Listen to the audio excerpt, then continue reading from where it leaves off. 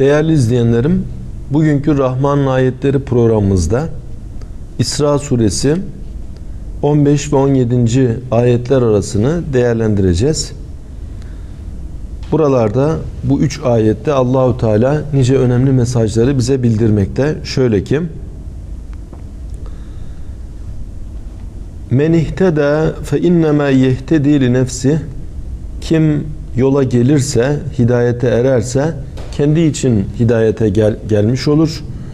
Ve men dalle kim de yoldan çıkarsa fe innema yadillu aleyha kendi aleyhinde yoldan sapmış olur. Ve la teziru vaziratun vizra uhra ve e, hiçbir günahkar başkasının günahını yüklenmez. Ve ma kunna muazzibine hatta neb'atha rasule bir elçi göndermedikçe biz azap edici değiliz. Burada hidayet ve dalalet, öte yandan e, suçun şahsiliği, peygamber gönder gönderilmediği durumlarda, dönemlerde insanların durumu gibi çok önemli konulara temas edilmiş. Allahu Teala hidayetin yaratıcısıdır dalaletin de yaratıcısıdır. Yaratma noktasında hidayet ve dalalet Allah'tandır. Hidayet yola ermek, doğru bir yolda gitmek, dalalet ise yoldan sapmak, yoldan çıkmak anlamında. Ve bu noktada insan serbest bırakılmıştır. Allahu Teala kendine yönelenlere hidayet eder. Ama dalalette kalmak isteyenlere de Allahu Teala dalaleti yaratır. Onları yoldan çıkarır. Kur'an-ı Kerim'de Allah dilediğine hidayet eder, dilediğini yoldan çıkarır. Bu mealde ayetler var. Bunlar yaratma noktasındandır. Yani hidayeti de yaratan Allah'tır, dalaleti de yaratan Allah'tır. Ama hidayete sebebiyet vermek veya yoldan çıkmaya sebebiyet vermek bu insanın iradesine bırakılmıştır. Şöyle bir misalle ifade etmeye çalışayım. Diyelim gündüz vakti evimizin camlarına siyah bir perde geçirmişsek karanlıkta kalırız. Karanlıkta kalmak bizim kendi kusurumuzdur. Çünkü siyah perde geçirmişiz ve kapatmışız. Ama perdeyi hafiften araladığımızda e, güneşin ışıkları içeriye girmeye başlayacaktır. İşte insanları insanlar bazı insanlar kalplerini küfür ve dalalet karanlığıyla e, perdeleriyle kaplıyorlar ve böylece onlar e, hak yoldan sapmış oluyorlar. Ama ne zaman ki kalplerini ilahi hidayete doğru yönlendirmiş olsalar Allahu Teala o kalplerde hidayetiyle tecelli edecek ve onlara doğru yolu, hak yolu gösterecektir. Ve men dalle fe innema yadillu aleyha yani kim yoldan saparsa kendi aleyhinde yoldan sapmış olur. Yoldan çıkmakla Allah'a zarar veremez. Bir insan gündüz vakti karan, karanlıkta kaldığında güneşe zarar veremediği gibi veya e, perdeyi açtığında aydınlıkta kalmakla güneşe fayda vermediği gibi insanlar hidayet ve dalaletleriyle Allah'a fayda veya zarar veremezler. Hidayet durumunda fayda gören kendisidir. Dalalet durumunda zarar gören kendisidir. Ve la teziru vaziratun vizra uhra ve hiçbir günahkar başkasının günahını yüklenmez. Buna suçun şahsiliği deniyor. Yani her insan kendi yaptığından mesuldür. Türkçede her koyun kendi bacağından asılır ifadesi kullanılır. Ayet-i kerimenin bir nevi tefsiri durumunda kullanılabilecek bir ifadedir. Burada belki yanlış anlaşılma müsait şöyle bir durum var. Ee, eğer bir insan başkasının yoldan çıkmasına sebebiyet vermişse elbette e, bunun vebali de onun üzerinedir yine. Çünkü es-sebebi kel fail yani sebep olan o işi yapmış gibidir. İyilik veya kötülükte sebep olan kimseler bundan hissedardırlar. Bu işin ayrı bir yönü ama ve la teziru vaziratun vizra uhra hiçbir günahkar başkasının günahını yüklenmez. E, ayeti e, şu anlamda değerlendirilmeli. Her insan kendi yaptığından mesuldür ve kendi işlediği e, kötülüklerden sonuna kadar sorumludur. Diyelim e, İslam tarihinde bir kısım şahıslar söz gelimi Hazreti Nuh. Hazreti Nuh en büyük e, peygamberlerden birisi ama oğullarından bir tanesi iman etmemiş. Hazreti Nuh'u bundan dolayı sorumlu tutamayız. Her koyun kendi bacağından asılır. Hazreti Nuh tebliğini yapmıştır. Oğluyla da ilgilenmiştir ama oğlu iman etmemiştir. Öte yandan peygamberimiz döneminde mesela e, İkrime Ebu Cehil'in oğludur. E, Ebu Cehil'in oğlu diye Müslümanların en büyük düşmanlarından birinin e, oğlu diye İkrime'ye düşmanlık yapmanın hiçbir anlamı yoktur. Çünkü suçun şahsiliği söz konusudur. E, Ebu Cehil kendi yaptıklarından sorumludur. Oğlu İkrime de yine kendi yaptıklarından sorumludur. Veya e, diyelim başka bir kısım insanlar e, diyelim e, Firavun'un hanımı Asiye e, mümine bir kadındır. Allah'a inanmıştır. Kur'an-ı Kerim e, onu bize met eder. Ama Firavun'un hanımı diye onu kınamaya, e, onu tenkit etmeye hakkımız yoktur. Günümüze bakan yönüyle günümüzde e, diyelim bir insan sevmediğimiz birinin oğlu olabilir veya bir yakını olabilir. Sevmediğimiz o insandan dolayı e, onun yakınlarına, akrabalarına da düşmanlık yapmak, onlarla irtibatı kesmek uygun değildir. İşte hiçbir günahkar başkasının günahını çekmez. Öte yandan mesela partiler var. E, o partilerde iyi insanlar da var, iyi olmayanlar da var.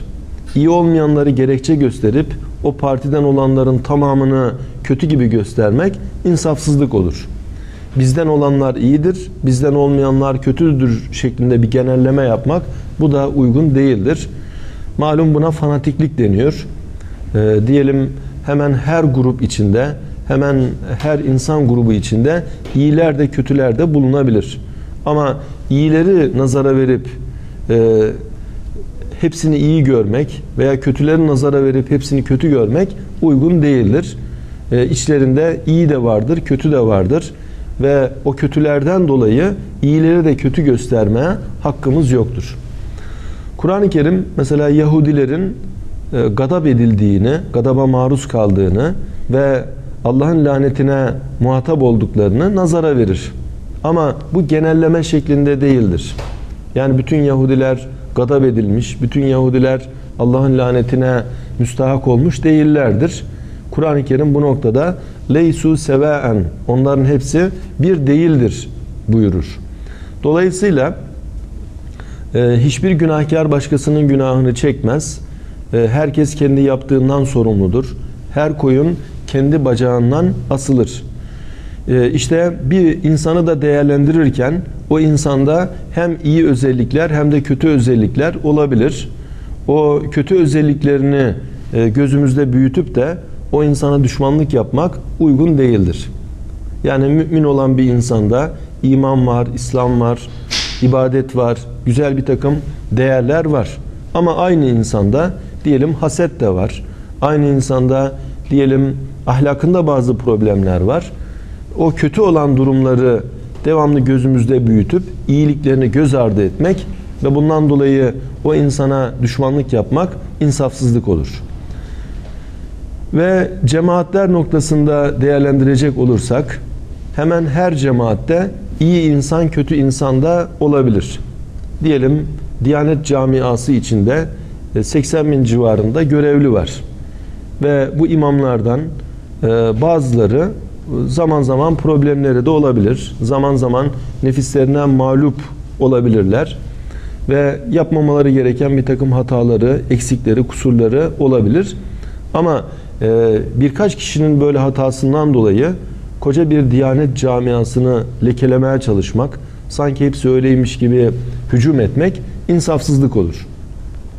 Bir zamanlar öyle yapılmış ki bir imamın keçisi çalınmış ve bazı medya grupları bunu imam keçi çaldı şeklinde e, ilan etmişler. Tamamen iftiraya dayalı, dayalı bir şekilde e, bir camiayı karalamaya yönelik harekette bulunmuşlar. Velev çalmış da olsa söz gelimi o imam olarak değil falanca şahsın bir hatasıdır. onun şahsında bütün imamları kötü göstermeye çalışmak uygun değildir. Demek ki وَلَا teziru veziratun vizra uhra hiçbir günahkar başkasının günahını çekmez.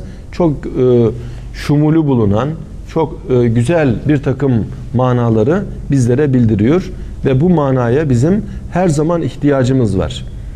Ve bu ölçüyü hayatımızda bir prensip edindiğimizde insanları değerlendirirken daha insaflı değerlendiririz.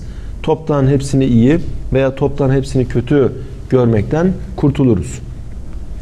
Ayet-i kerimede hiçbir günahkar başkasının günahını çekmez denilmesi e, aynı zamanda şöyle bir inceliği de hatıra getiriyor.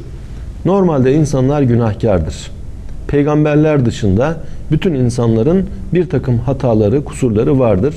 Hatta Allahu Teala peygamberimize bile e, festağfir li zembik günahın için istiğfar et buyurmuştur. Peygamberimiz masum ama e, yine istiğfarla mükelleftir. Günde 70 defa, günde 100 defa istiğfar ediyordu ve Cenab-ı Hakk'ın mağfiretini talep ediyordu. Peygamberler dışında diğer bütün insanlar potansiyel itibariyle düşünüldüğünde günahkardır veya günah işlemeye meyillidir. Dolayısıyla İslam camiası içinde bazı e, görüşlerde masum imam şeklinde bir kısım insanların ön plana çıkarılması, bunları peygamber gibi masum görmek İslam alimlerince uygun görülmemiştir. Onlarda bir kısım günahları olan veya günah işleyebilecek e, varlıklardır, insanlardır. Böyle olunca e, günahın insan tabiatının adeta bir parçası olduğu kendini gösterir. Yani bu insan yemek yediği gibi, bu insan havayı teneffüs ettiği gibi bu insan günaha da meyyaldir. E, günahını e, işleye, günah işleyebilir ve günahının mesuliyetini ona göre çekecektir. Demek ki bazılarını masum görmeye çalışmak, işte e, falanca zat var ya hiçbir günahı yoktur, hiçbir hatası yoktur demek bu uygun değil. Sahabeler peygamberlerden sonra en üstün insan grubudur sahabelerin de zaman zaman bazı hataları, eksikleri olabildiği Kur'an-ı Kerim'de örnekleriyle anlatılmaktadır. Mesela sahabelerden bazıları Tebük seferi öncesinde Peygamberimiz Aleyhisselatü Vesselam'a gelmişler. Sefere katılmamak için izin istemişlerdir. Ve Peygamberimiz onlara izin vermiştir. Ve Allahu Teala burada onların izin istemesinin ve Peygamberimizin de izin vermesinin doğru olmadığını nazara veriyor. Afallahu anke Allah seni affetsin. Lime efin telehum onlara niye izin verdin diye e, ilgili ayetler geliyor ve onların hareketinin ve peygamberimizin izin vermesinin doğru olmadığı bildiriliyor. Ve yine Tebük seferi ile alakalı sefere e, katılmayan bazı müminler var. Mazeretsiz bir şekilde katılmayan müminler var. E, bu noktada onlar da bir hata içinde. Ama o kadar pişman oluyorlar, o kadar gözyaşı döküyorlar ki Allah onları da affettiğini e, Tevbe suresinin ayetlerinde bize anlatıyor. Demek ki ayet-i kerimedeki hiçbir günahkar başkasının günahını çekmez denilmesi insanın günahla alude olan, iç içe olan tabiatını da nazara veriyor. İnsan kendini dev aynasında görmemeli, kendini hatasız görmemeli. Hataları görmemek hatalardan daha da büyük bir hatadır. Kusurunu görmemek daha da büyük bir kusurdur. İnsan hatalarını görse, kusurlarını görse tövbe istiğfar eder ve e, kendini düzeltmeye çalışır. Ama hatasını, kusurunu görmediğinde kendini bir şey zanneder, gururlanır, kibirlenir ve yüksek makamlarda kendini telakki eder. Halbuki bu insan e, kusurlarla alude, bir takım hatalarla iç içe olan bir varlıktır. Ve ayetin devamında وَمَا كُنَّا مُعَذِّب۪ينَ hatta نَبْعَثَ رَسُولَ Bir peygamber göndermedikçe, bir elçi göndermedikçe biz azap edici değiliz buyuruyor Cenab-ı Hak. Bu da önemli bir mesaj. Kur'an-ı Kerim'de her kavme bir yol gösterici vardır. Her ümmet için Resul vardır. Bu mealde ayetler var. Yani Allahu Teala normal şartlarda bütün kavimlere, topluluklara peygamber veya peygamberin davetçilerini göndermiştir. Eğer e, gönderilmediği durumlar olmuşsa ve onlar mesul de değillerdir. Bunlara ehli fetret deniyor. Mesela Hz. İsa'dan peygamberimize kadarki dönemde peygamber geldi mi gelmedi mi? Ee, işte bizim bildiğimiz ölçüler içinde yok. Tarihen bilinen yok. Bu gibi durumdakilere ehli fetret deniyor. Ve ehli fetretin durumu e, kitaplarımızda şöyle ifade edilmiş. Ehli fetret ehli necattır.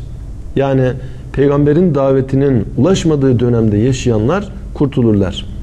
Bu konuda İmam Maturidi ve İmam Eş'ari'nin e, biraz farklı yaklaşımları var ve zaten bu konu başlıca iki şekilde ele alınabilir e, ve onlar da iki farklı şekilde değerlendirmişler. İmam-ı Eş'ari ve İmam-ı Şafii gibi zatlara göre peygamberin davetinin ulaşmadığı dönemlerdeki insanlar velev Allah'ı bilmeseler de mesul değildirler. Onlar kurtulurlar. İmam Maturidi ise aklı da bir elçi gibi görüyor. Ve insan aklen Allah'ı bilebilir, aklen Allah'ı bulabilir. Böyle olunca o kimse e, aklen Allah'ı bulmaktan sorumludur. Ama e, nasıl ibadet edecek bilemez. Bundan dolayı ibadetlerden sorumlu değildir. Ama bu alemi yaratan var. Aklen bunu bilmekle mükelleftir diyor.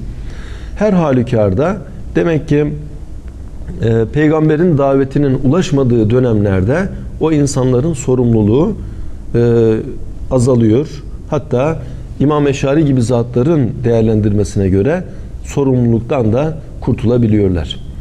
Ve Allahu Teala la yükellifullahu nefsen illa vus'aha hiçbir nefse kaldıramayacağı yükü yüklemez. Kime ne vermişse ona göre onu sorumlu kılar. Dolayısıyla o dönemdeki e, insanlar da kendi durumlarına göre değerlendirilecektir. Ona göre bir hesapları olacaktır. Ve izâ aradna en nuhlike garyeten biz bir kariyeyi, bir beldeyi helak etmek murad ettiğimizde emarna mutrafiha onların şımarık bir takım önde gelenlerini emir yaparız veya onlara emrederiz. Fefesagu fiha onlar da Allah'a itaatten huruc ederler. Allah'a itaatten çıkarlar. Fıska düşerler. Fe hakka aleyhel gavlu azapla ilgili söz o belde hakkında o beldede yaşayan kimseler hakkında hak olur. Fedemmarnaha tedmira ve biz oranın altını üstüne getirir, onları helak ederiz.